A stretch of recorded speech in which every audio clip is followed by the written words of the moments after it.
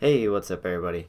This is Ian, your course TA, and in this video I want to go over some updates that are happening with the Yahoo Weather API. So Colt uses the Yahoo Weather API as an example for your first HTTP request to a third-party API, and now, as of tomorrow, Thursday, January 3rd, 2019, they're going to be retiring this API. And so you can email them and get credentials and things like that and we may try to do that. Uh, I'll have to talk to Colt about it. But in the meantime, just to keep you carrying on with the course, I'm going to show you another API that's totally free and you can use it to get experience with making requests the same way that you could have used the Yahoo API back before they retired it. It's actually the second today. They're retiring it tomorrow. So if you were to run your code now, then you would get something like this it would say the sunset in Hawaii is at, and then it would tell you the sunset time. That's great, but like I said, they're going to retire it tomorrow, so you're not going to be able to use it anymore unless you get uh, API keys and all that stuff. So in place of the Yahoo Weather API, I'm going to use something called JSON placeholder. And this is a really simple API that basically has a bunch of dummy data. So if we scroll down, you can see they have an example here. You can even click try it to run it. Uh, they're using this dot .then syntax, which is promises. We're using callbacks. Uh, I can go over this uh, at the end of the video, but right now let's just focus on getting it working. So they have a list of the different resources. We'll use the uh, users resource. So basically you just go to the JSON placeholder.typicode.com forward slash users and that will give you back all this JSON. So as you can see, it's kind of hard to see this, but this is a left opening square bracket, and then it's got a bunch of objects inside of it. So it's an array of objects. So if we want to make a request to get the first user, we would just append a forward slash and then a 1 up here on our URL, and the response would just be an object with the user who has an ID of 1. So let's go ahead and take this URL up here, copy it, and head over to our code. So I'm working locally in Sublime. This is the exact same thing if you're using C9. You're going to have your code editor, you're going to open up a new file, you're going to save it, and then you're going to run it inside of the terminal for C9. I'll just be using an external terminal over here, but it's all the same commands. Like I showed you a moment ago, this is the original code. So it logs out this, the sunset in Hawaii is at dot dot dot, and then it sends this request. And as long as there's no error, and the status code is 200, which means okay. Then we go ahead and we parse the JSON that they send us, and well, it's actually a string. We parse it and turn it into JSON, and then we log a certain property, which is the sunset property. We're going to look at this other API and see what kind of options it gives back to us. So we don't need this console log at the top on line 3. I'll go ahead and get rid of that. And then we don't need this super long string argument here. So go all the way through and leave the single quotes. So you just have this empty string and then inside of it we can plug in our JSON placeholder code forward slash users forward slash one and this will give us back that object.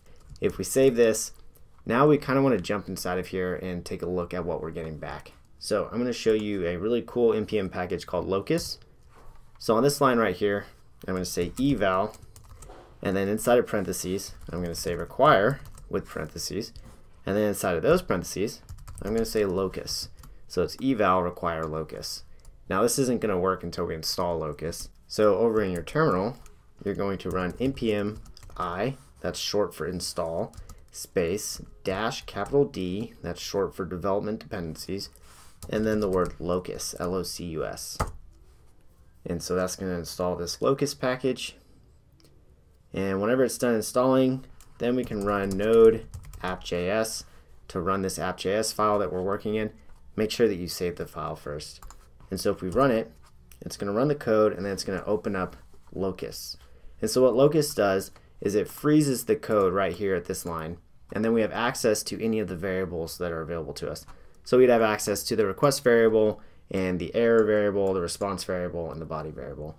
And so at this point, we've actually run the request. We've sent a GET request to this URL, and we have the response in the body.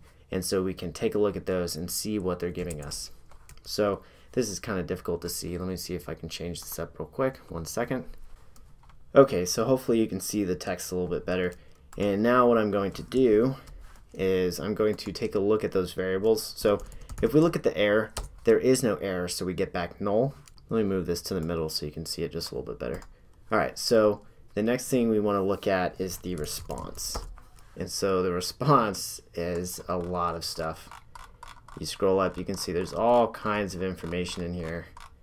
And that's great. Really the only thing we're truly interested in is the response.status code.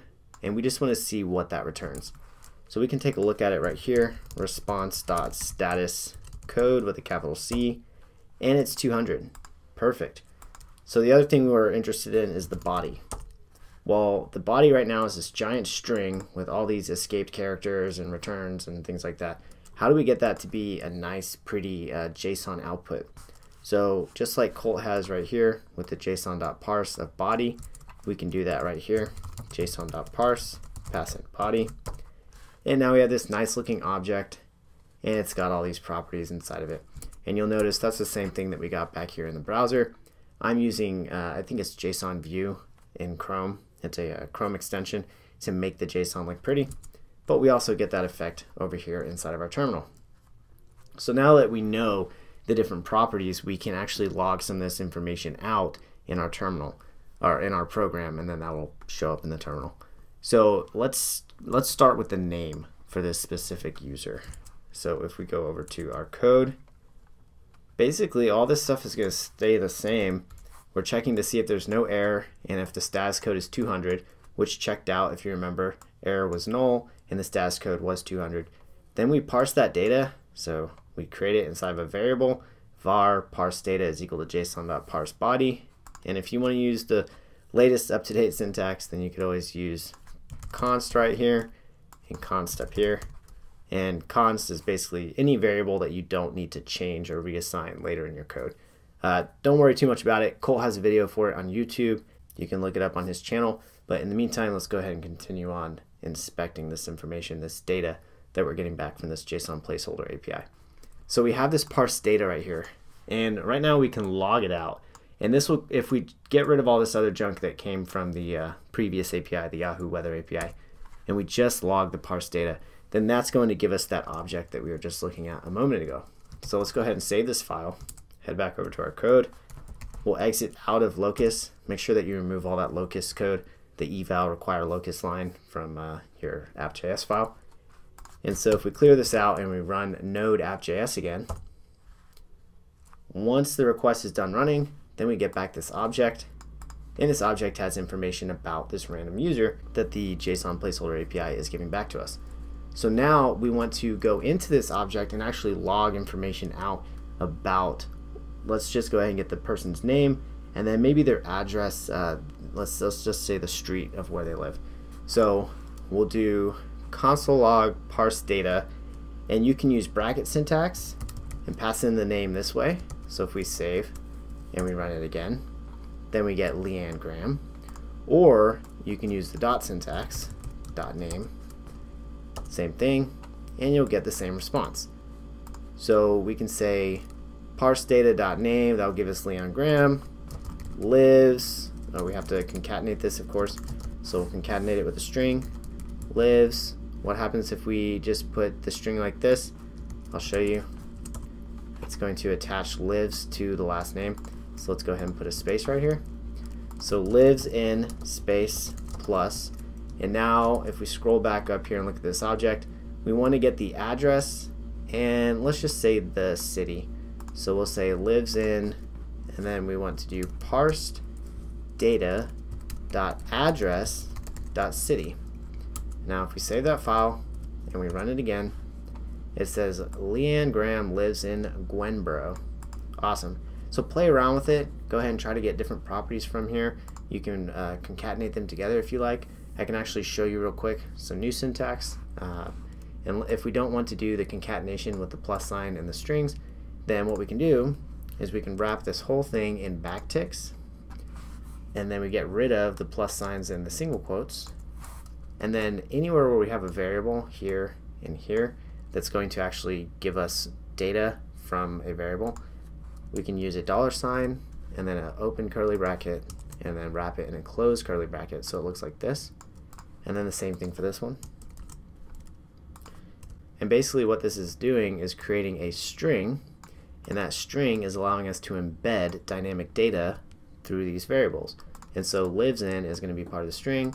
The output of this variable is going to be part of the string. And then the output of this variable will be part of the string. So this is exactly the same as the concatenation that we had a moment ago with the plus signs and the single quotes. If we save this file and we run it again, then we still get Leanne Graham lives in Gwenborough. But now we're using this cool ES6 template literal syntax. That's what that's called, it's a template literal. So we've also changed our variables to use const instead of var. That's also ES6 syntax. We do have a function here, which could be an arrow function. So we could take out the word function, and then on the other side of these three arguments, right outside the closing paren, we could put this arrow and then save it. And if we run this, we get the same thing. So that's working with what's called an arrow function, and it's just a cool succinct syntax that we can use from ES6. But we can also use promises if you want to do that, and that's what I was talking about earlier with, let's see here, I gotta go back to the JSON placeholder example. So if you scroll up, they have fetch, and then fetch returns a promise. It has dot then. I think you can get the request package with promises. So they have a package called request promise and it's basically just using a promise library so that you can use promises instead of callbacks. So if you want to use this, you can go ahead and check it out. Uh, basically, you can steal from their cheat sheet right here. Instead of using request is equal to request, you do const RP stands for request promise is equal to require request promise and of course we need to install that so we do an npm i dash capital S, that's npm install save, request promise, and then once that installs, we can go back over here and change this to RP. Everything else would be the same except instead of having a callback here, we would just wrap this like that. And then on the next line, we could do a dot then. And the dot then, let's go ahead and look at their syntax over here, would take a function as an argument and it would give you whatever comes back. And then the error would be handled in a dot catch. So let's go ahead and try that out. We could say dot then. We could use the word function, or we just learned how to do the arrow functions. So we can do an arrow function here, and we can pass in the HTML string, and we can console log the HTML string that it gives us, Let's go ahead and get rid of this stuff right here. Well, let's borrow this right here. And then of course there's the dot catch syntax, which is going to catch an error if there is one. And we can console log the error. And just so we know that it's an error, let's put uh, error like that. So this will give us the string, error, exclamation, and then it'll actually give us the error from the error argument. And so now let's go ahead and try to run this and see if it works. So at this point, we just run node.js. And it's saying that there's an unexpected token somewhere. Let's go ahead and find that and figure out what's going on. Ah, okay, I figured it out. So we have RP, and then we have the argument here, and then we do a dot then and a dot catch. And we do not need this code from the code that we had previously.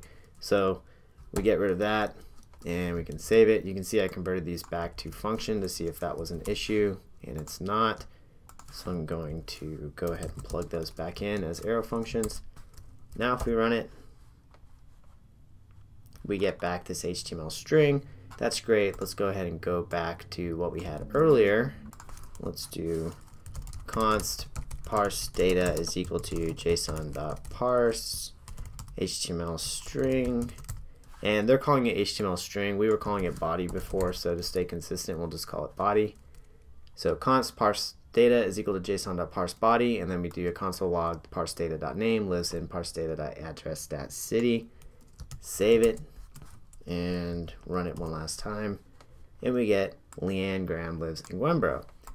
Here's your ES6 version, or you can go back to how we had it previously if you just want to use the request package and you want to use callbacks.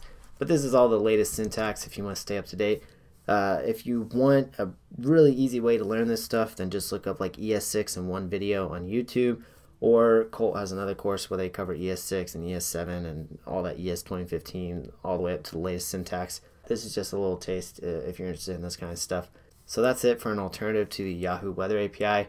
Hopefully, I haven't talked your ear off and you've learned a little something. You can use the JSON placeholder for now until we figure out what's going on with this Yahoo Weather API, what the next steps are with that. Thanks for watching this video, and we'll see you in the next one.